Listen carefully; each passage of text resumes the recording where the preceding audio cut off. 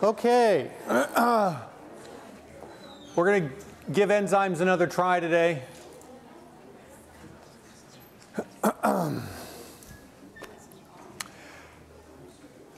so there's a mistake in the way I calculated the how, how am I doing scores. And the mistake is that if you missed a quiz, not if you got a zero, but if you missed a quiz, then it was calculating your how am I doing score incorrectly. So a few of you pointed this out to me and I fixed it. And so I posted a new how am I doing score on Friday. It's separate from the earlier one. And so if you missed a quiz, your how am I doing score should be higher than it was on Thursday. All right, just check that if you would. Thank goodness uh, a few of you went to the trouble to check your how am I doing score and found this error. Okay, quiz 7 scores I think are already posted. All right, so that should be all of the quizzes for the quarter. You should see all the all the scores. The, the uh, key is posted as well on the results page. Quiz 6 scores have been updated. We made a error in the way we graded that. Excuse me. Completely my fault. Right, there was an error in the notation that we used on the quiz. And so G and Mark went through and regraded all of these and reposted them. And so the quiz scores that are up there for quiz 6 are updated. If you want to double check your quiz score, that would be a good thing to do. Now, uh, uh, uh. the electronic evaluations got turned on last week, and a few of you have worked them out for me. But so far, just 16% of you I need, and there's no way I can force you to do this, but I want to ask you if you would please to take the course evaluation.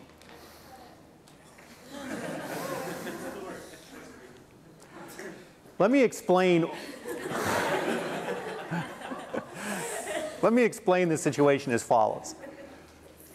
I teach general chemistry, analytical chemistry, physical chemistry, when I teach general chemistry and I get evaluations from the students, they're almost useless. and the reason is it's not really their fault. I mean, these students right here, they don't know if the drill instructor is a good guy, a bad guy, or an intermediate guy. They just know they can't hold their feet up for 30 seconds. All right, they have no experience with drill instructors. And so when I get feedback from them, you know, I, I, can feel like I've done the best job in the world of teaching this class, and I will get all of this extraneous feedback. You know, your your pants are something wrong with your pants, or you guys are like these guys right here. All right, you're grizzled veterans. Most of you are graduating in a week. And you've seen everything. You've seen bad teaching, you've seen good teaching, you've seen intermediate teaching, you've, you're calibrated. You know what exactly what issues exist with the class. All right, I know there's issues with this class, and it would really help me out if you went through and did these evaluations and not only just scoring them, because I know that's the easiest thing because that's just radio buttons, but if you actually wrote some comments to help us make the course better. I read every one of these comments. I get a printout of a list of all the comments and I read those all. Right, I, don't, I don't get to see them for about two weeks because they don't allow me to see what your comments are before I issue the final grades, but after I issue the final grades, a week after that, they let me see what your comments are. Okay, so please, if you would, I know, I know it takes time, probably takes about 10 minutes, 15 minutes to do this. I'd appreciate it. All right, so we're going to talk about enzyme kinetics. Turns out all of this stuff is in chapter 21 of your book.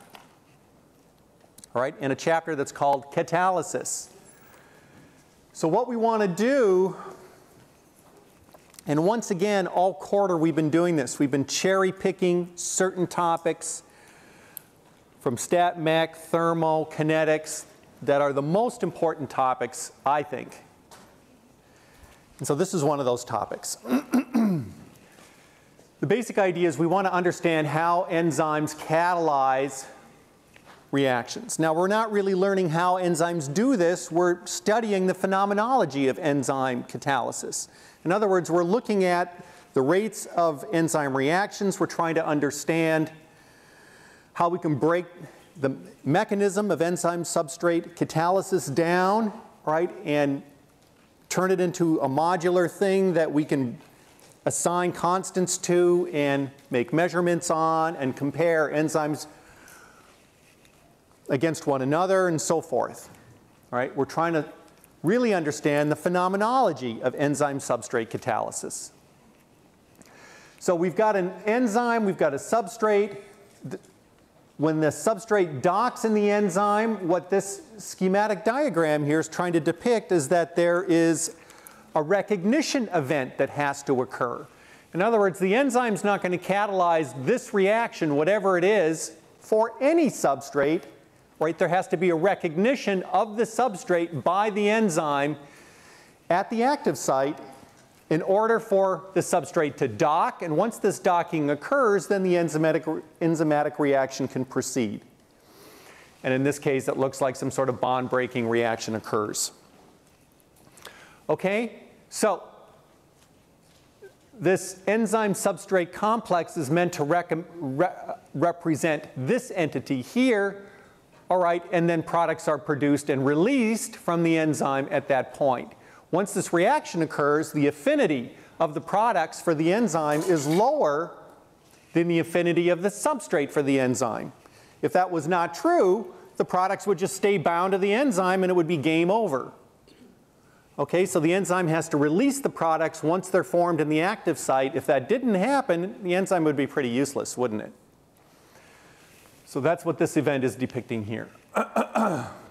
okay, so we want to work out some equations that are specific to enzyme catalysis that help us to understand these reactions. The batteries in my laser pointer are dying, so I'm going to use it sparingly, but hopefully it'll get us through this lecture. Here's the mechanism I showed on the previous slide. Here's the rate of the reaction. All right, I'm just depicting here the rate at which P is formed. All right, I think you can see that, that it's, it's a unimolecular reaction from the enzyme substrate complex with a rate constant K2. We're going to apply the steady state approximation again. All right, it's another example of that. And to do that, we set the time rate of change of the intermediate ES equal to zero. And so I think you can see there's a rate at which ES builds up and two ways at which ES is consumed. And so that equation we could have written down earlier because it's just the steady state approximation. And now we have to say some things that are specific to enzyme reactions. We're going to make some substitutions into this equation, and one of the substitutions we want to make is for the enzyme concentration because we don't know a priori what it is as a function of time. All right, presumably the enzyme is going to get bound, form the enzyme substrate complex, and the free enzyme concentration is going to go down and the enzyme substrate concentration is going to go up. Presumably that, that's what has to happen. And so we don't know what that is, what E is, but we do know how much total enzyme we've got right? At least if we're studying this reaction in the laboratory, we added a certain amount of enzyme at the beginning of the experiment to study the enzyme kinetics that we're trying to study in the lab. Right now, in a natural system, you know, if there are cells around and we've got some extract from a liver and some enzymatic chemistry is going on, we don't know anything. All right, we can't study enzyme kinetics under those conditions in general. Right? To study enzyme kinetics, we've got to take the enzyme, control the pH, put some substrate in contact with it, and measure the reaction rate as a function of time somehow. We've got to do that. Okay, so presumably we know this E0. At least if we're doing the experiment in the lab, we know it. So the total enzyme can only exist in two forms, free enzyme and enzyme substrate complex. And so now I can solve for the free enzyme in terms of the total concentration of enzyme. And of course, it's just equal to the total concentration minus the enzyme substrate complex. So now I can plug that into this expression, boom, here's my new steady state approximation expression. All right, and when I distribute this K1 over these two terms, I'm now going to get four terms instead of three. One, two, three, four terms. And I can move the one generation term over to the left-hand side, put all the minus signs on the right side. All right, so all of that has got to be equal to that. If this is equal to zero, and now I just solve this for ES. And that's easy to do because I've got ES, ES, ES. I just factor that out. and this is the expression that I get. Oh, I want to remember that this ES concentration that I'm using now refers to the steady state enzyme substrate con uh, concentration. All right, we're assuming that the steady state approximation is correct. So this is the equation that I get for that. And earlier we said that the rate at which P is formed is just equal to K2 times the enzyme substrate concentration. And so now, if I just plug ES into here, I get this equation right here. Looks like a mess. okay, but I'm going to divide the numerator and the denominator by K1. So K1 is going to go away here. And K1 is going to go away here. And K1 is going to end up in the denominator here. All right, so this is the new expression for the rate of the reaction that I get, still subject to the steady state approximation. And now I'm going to roll all these constants up in column Km, K big M. All right, all of those guys together are going to be the Michaelis constant. And this equation is the Michaelis-Menten equation. It is the most important equation in enzyme catalysis okay? But it's moderately useless. In other words, we've derived this equation. It's very important. It contains all of the kinetic rate information for uh, enzymatic reactions, but we can't extract information from this equation very easily in the form that it's in. Ironically, it's the most important equation in enzyme kinetics, but we can't really use it. Right? We need to do some more work. What do we need to do? Well, first of all, let's think about this equation. See what it's telling us. Notice that in the denominator, there's an addition operation. What does that mean? There's going to be limiting cases. All right, if there's an addition operation in the expression for the rate, right, there's going to be limiting cases. Why? Because one half of this addition operation could be large compared to the other half or vice versa. Okay, so we've got an addition operation in denominator. What are the corresponding limiting cases? Well, if K2 is big, remember K2 is part of Km. If K2 is big, how big? Big compared to K minus 1, and K2 over K1, if that's big compared to S, then this thing simplifies quite a bit. Notice, if K2 is large, then K minus 1 can be neglected, and S can be neglected. So I've just got K2 over K1, and K2 is going to cancel, and so the rate of the reaction is going to simplify very substantially. Right, the rate of the reaction is just going to be K1 times E0, the initial concentration of enzyme, times the substrate concentration. Shouldn't that always be the case because we're assuming steady state approximation fits behavior and what's going on? yes. Did everyone hear that? Shouldn't it always be true that K2 is large if the steady state approximation is correct? The answer is yes. Right, but we're going to abuse this equation on a routine basis. All right, so this limiting case is not always going to be observed.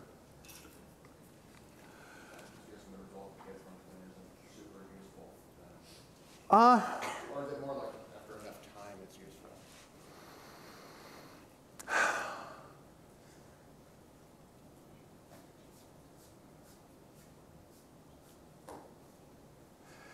It, it turns out it is useful. And the reason is, is that we're going to apply it to the initial. In other words, we're going to measure a rate at the beginning of the enzyme substrate reaction using an initial concentration of substrate and an initial concentration of enzyme. And under those conditions, this equation is going to work pretty well. Okay, so what does this mean? If K2 is big, all right, we've derived the simplified equation, but conceptually, what does that mean? What does it mean if K2 is big? What it means is that the reaction doesn't even know ES exists. Right? If K2 is big, as soon as ES is formed, boom, it reacts immediately. Right? So its concentration is very low, which is good. That's in compliance with what the steady state approximation is assuming, right? The enzyme substrate concentration is going to be quasi-constant because it's very low. this also means that E is approximately equal to E0 because ES is approximately 0. Right? And so essentially what this means is that the formation of the ES in this first reaction here is the rate limiting step in this sequence of reactions. All right, the rate at which the ES is formed, because as soon as the ES, ES is formed, boom, it reacts like a shot. All right, notice also that the reaction's first order in substrate. All right, in this limit of high K2, the reaction is first order in substrate. We'll come back to that. What if S is big? All right, if S is big, then I can neglect this whole guy in the parentheses here, right? And I just end up with this expression right here, and S is going to cancel, and so the reaction rate is just, in that case, just given by this expression here. It doesn't even depend on S.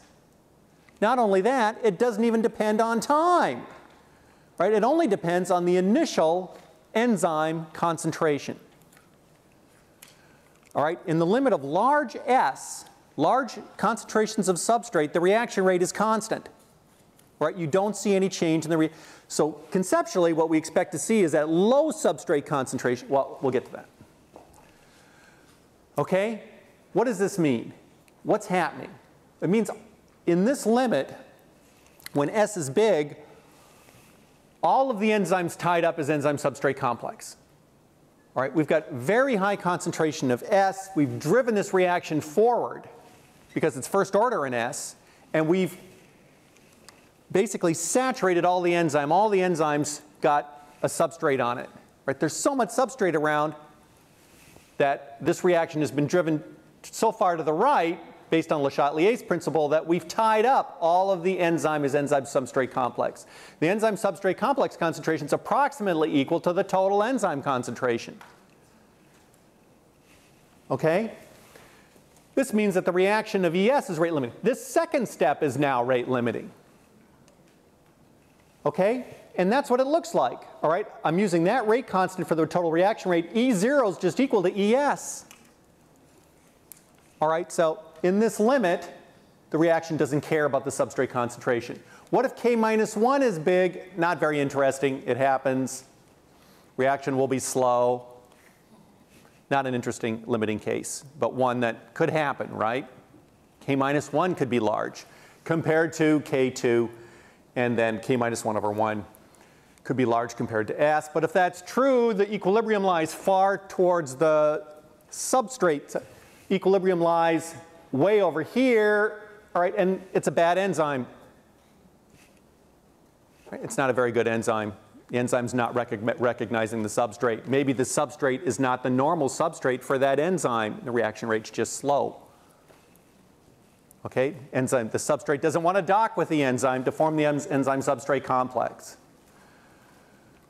Okay, what if S is small? What happens at low concentrations of substrate? Check it out. All right, here's the Michaelis-Menten equation. All right, if I make S small, it disappears from the denominator. I end up with this expression right here. The reaction is first order in S. Okay, so we said when S is big, the reaction rate becomes constant. When S is slow, the reaction rate is first order in S. Okay, so we know what this reaction is going to do as a function of S. Right, it's going to be first order at low S. So this is a plot of the reaction rate versus the concentration of S. At small s, we see first order kinetics for S. In other words, the reaction rate goes up linearly as a function of the concentration of S. I think you can see this looks like a straight line down here, right? But as S gets larger, it starts to curve, and at high concentrations of S, it becomes concentration independent. All right, and in that limit, there's a maximum reaction rate, Vmax, that's equal to K2 times the total concentration of enzyme that I started out with in this reaction. All right, so this is what any enzyme will do as a function of the substrate concentration. Right, that's what this equation predicts. Right, and it's also what's experimentally observed. Now, there's some other things that are indicated here that I'll explain to you. In the limit of large S, we obtain the maximum rate, Vmax. I already showed that to you. Right, here's the Vmax, and we're not quite there yet. We would have to go to higher and higher and higher concentrations of substrate, but eventually this reaction rate will asymptotically approach this dashed line, which represents Vmax. That's the maximum reaction rate for the enzyme. That's a reaction rate that is characterized by the fact that the enzyme, every enzyme's got a substrate stuck on it. So at that point, the reaction can't go any faster. okay, so K2 times E is a Vmax, yes. Okay. Now, there's lots of things in enzyme kinetics that are confusing, but here's one of them. All right, so let's get rid of one thing that's confusing here. Vmax over E0 is given by this expression right here, but we also call Vmax over E0 the turnover number. I think you could see Vmax over E0 is obviously equal to K2. All right, what are the units of K2 going to be?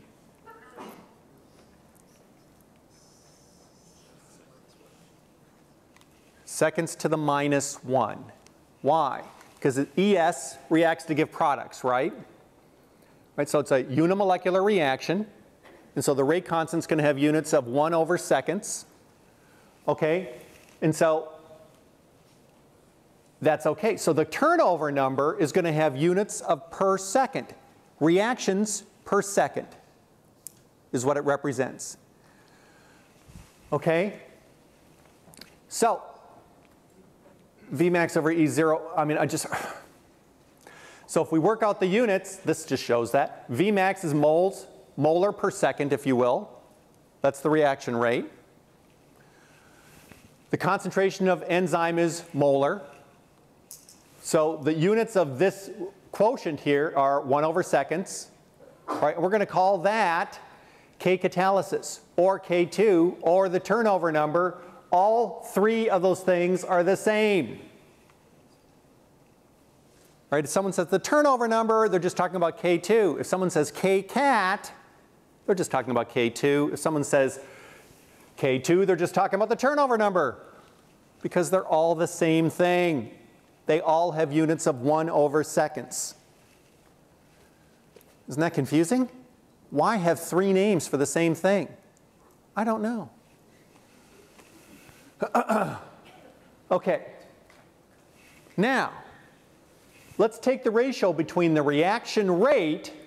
Now I'm just going to call the reaction rate V. Remember how I was calling it dP dt? No difference.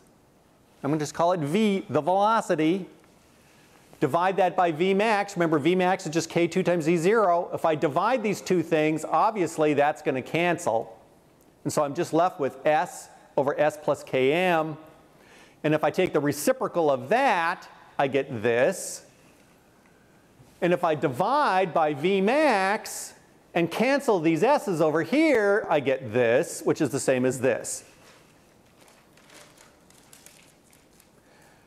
So all we've done is to take the Michaelis-Menten equation and do some more algebra on it to get an equation that is not called the Lineweaver-Burk equation. It should be called the Lineweaver-Burk equation, but it's not. But if you make a plot using this equation, it is called a Lineweaver-Burk plot. How are you going to make a plot? Take 1 over s, that's going to be your vertical axis.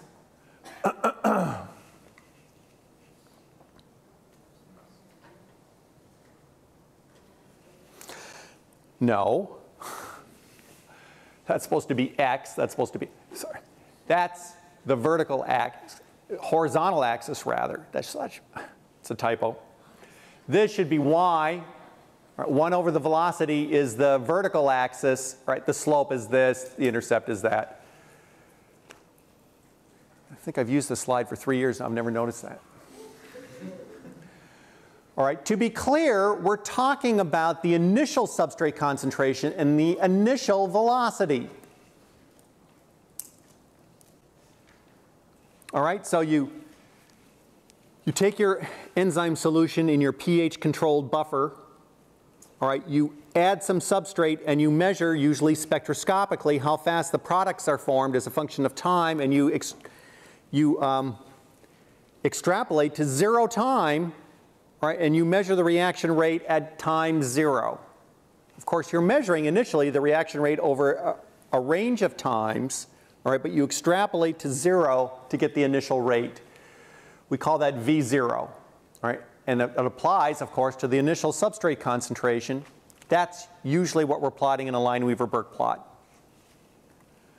Here's what it looks like. All right, 1 over S, horizontal axis, 1 over V, vertical axis. Notice it says V0, that means the initial velocity right? This should really say S0. That's the initial substrate concentration. All right, we should get a straight line from that. The slope of the line is going to be Km over Vmax. The intercept on the y-axis is going to be 1 over Vmax, and the intercept on the x-axis is going to be minus 1 over Km. Really? Yes? Check it out. If I take 1 over V and I make it 0, and I solve for what 1 over s is going to be at 1 over Vmax equals 0. I get minus 1 over Km. All right, from the not Lineweaver-Burk equation.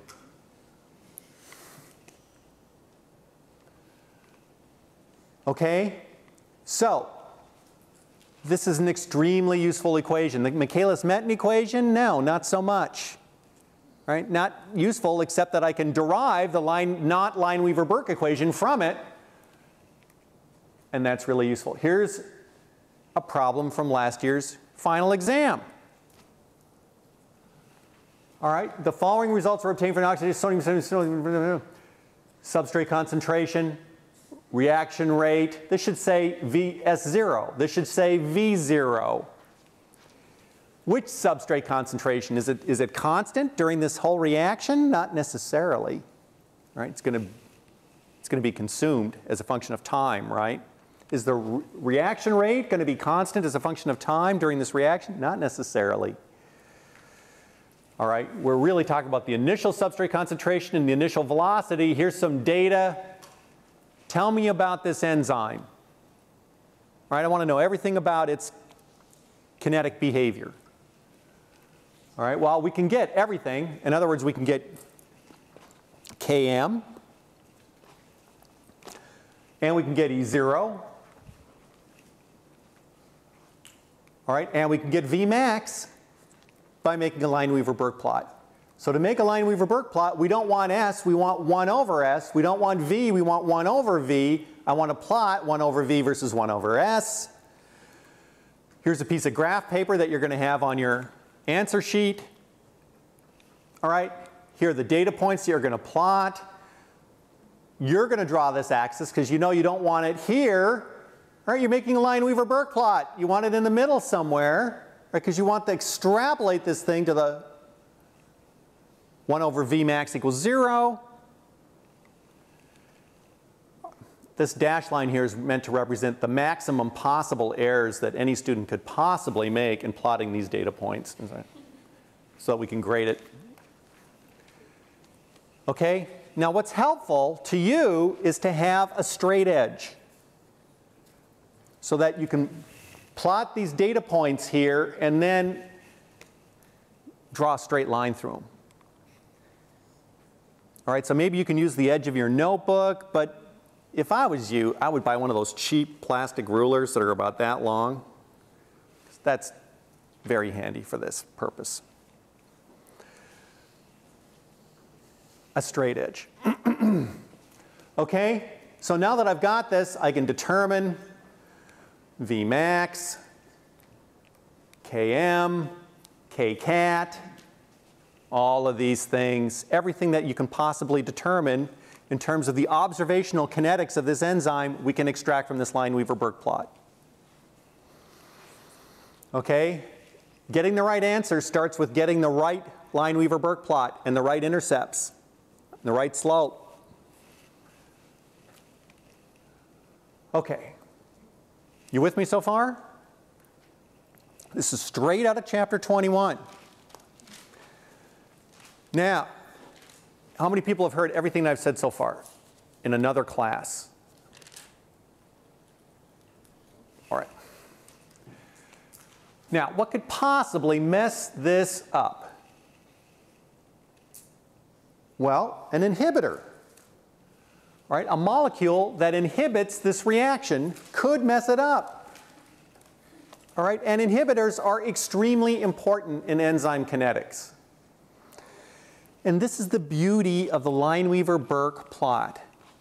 All right, how the Lineweaver-Burk plot changes with and without inhibitor is diagnostic of how the inhibitor is acting on the enzyme. It's a thing of beauty.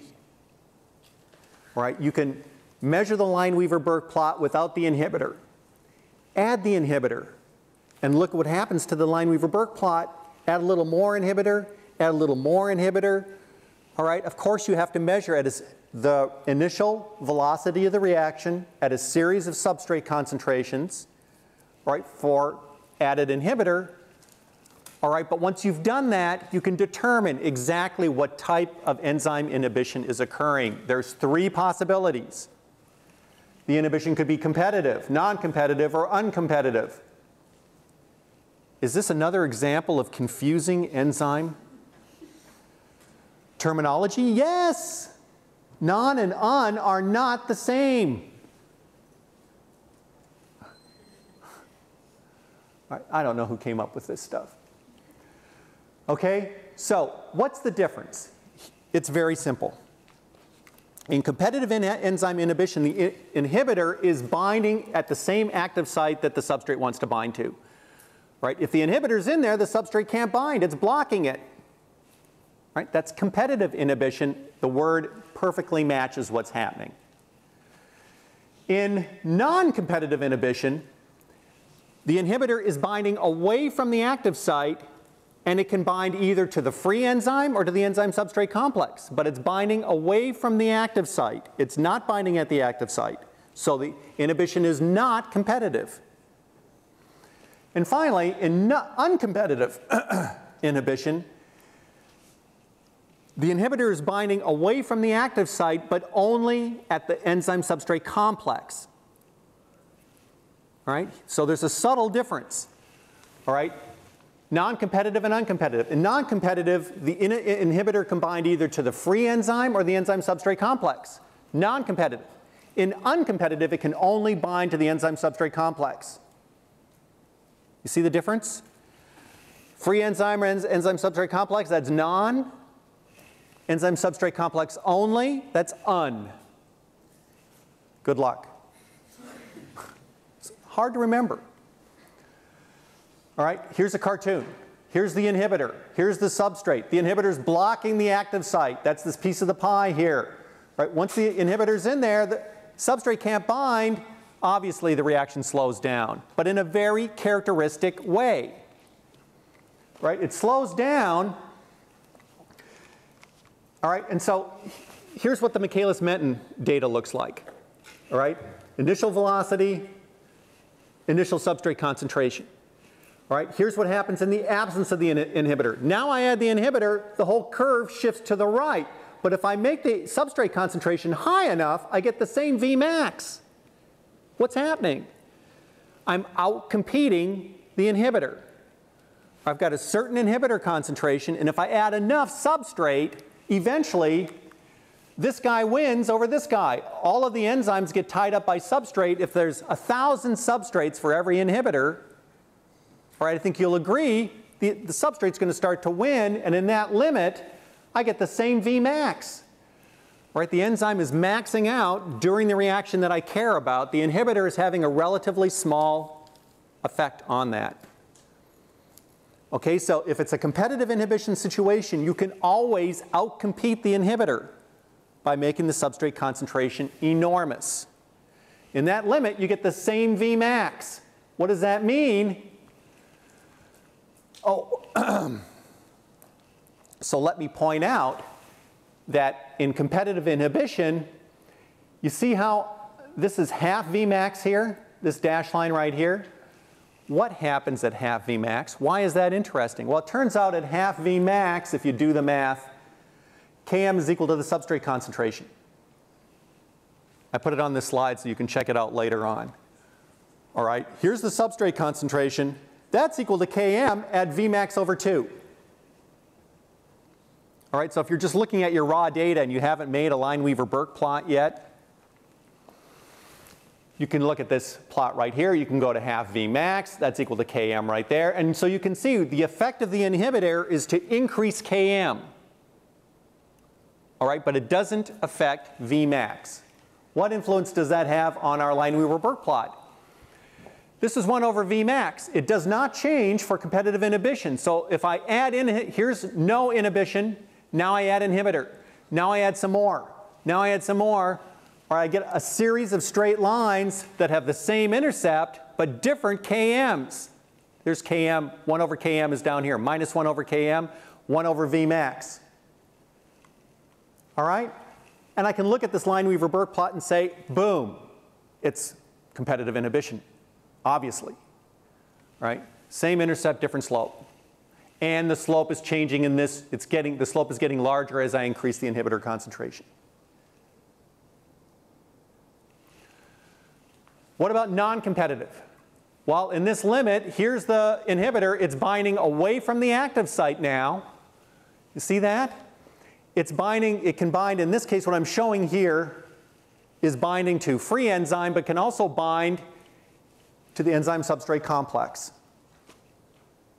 All right, if it's non-competitive inhibition.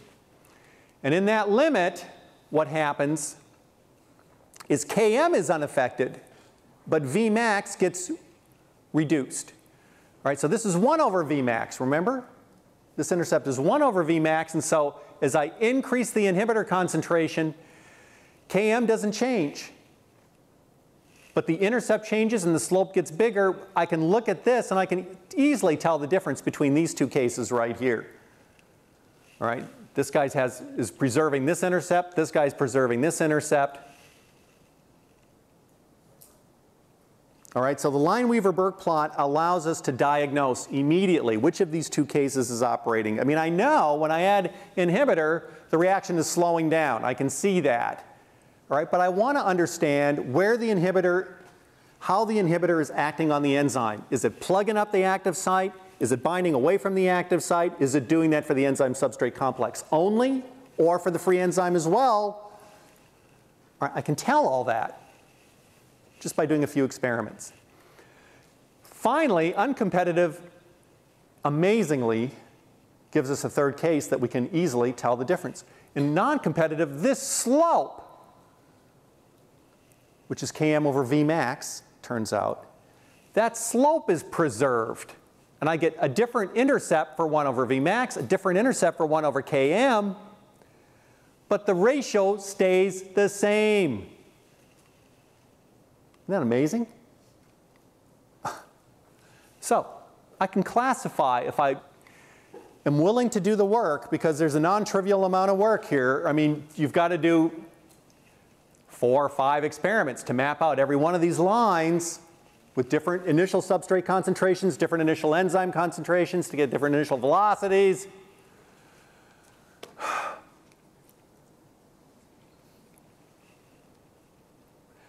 Now, if you buy this book, which is the Bible of biochemistry, even it does not contain what I'm about to show you, which is the mathematical derivation of where these straight lines come from. It's not in your book. It's not even in Lehninger.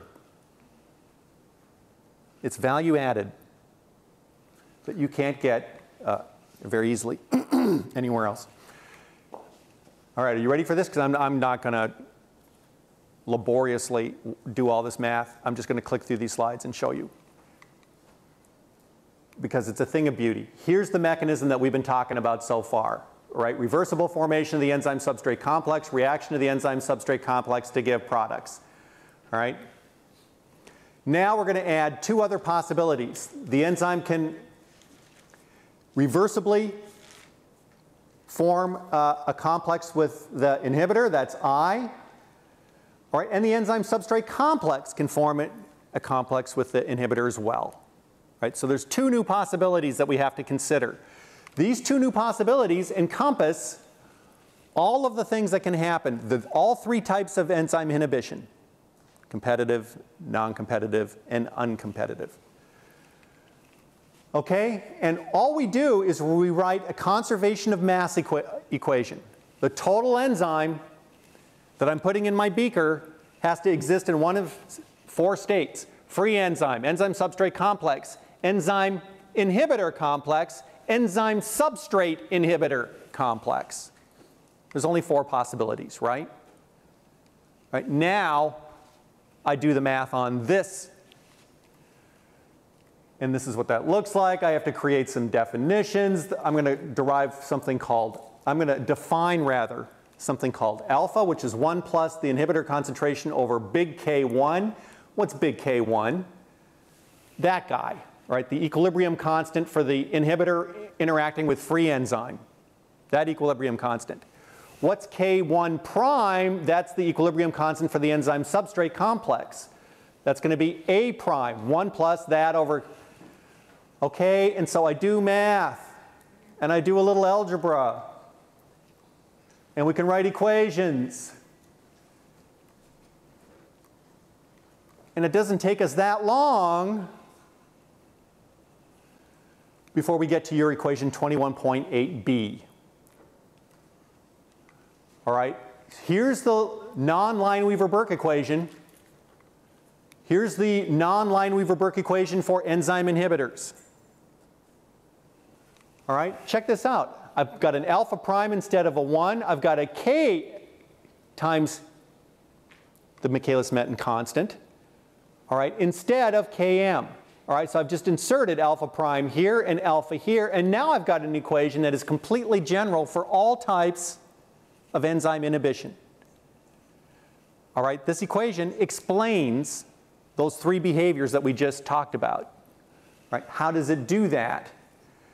First of all, notice that if K alpha, sorry, if alpha prime is 1 and alpha is 1, then the inhibitor is exerting no effect. I just get the non-Lineweaver-Burk equation.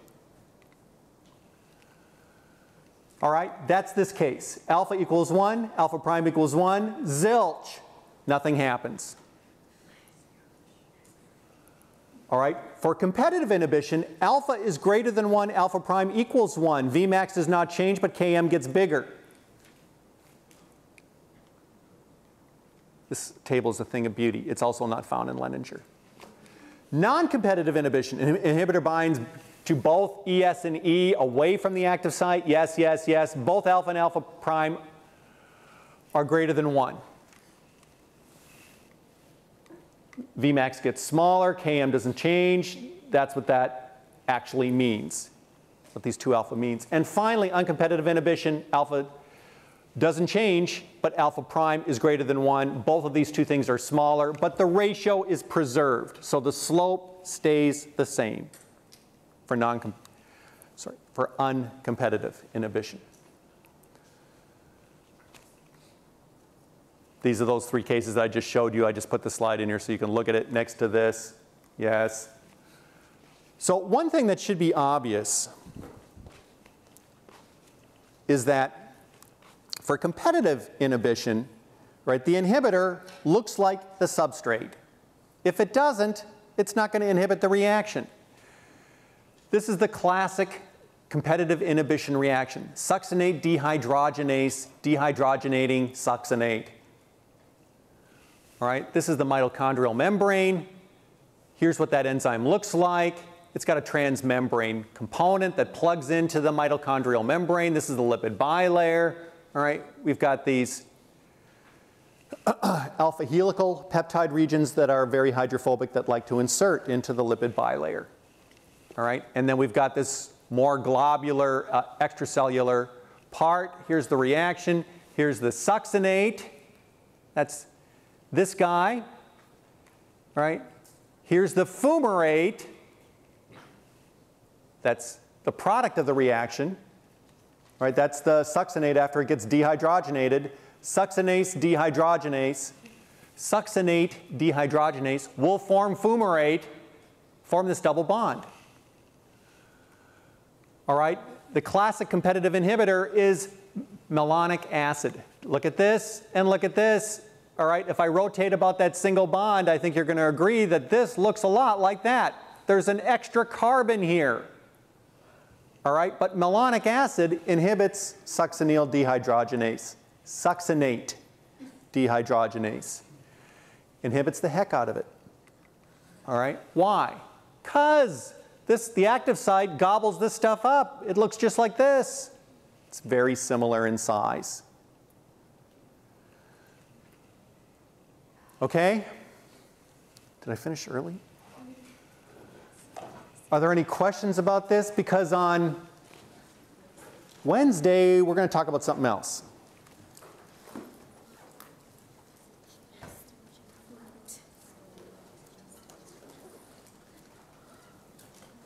Okay, look at chapter 21 and then see if you have questions about this stuff.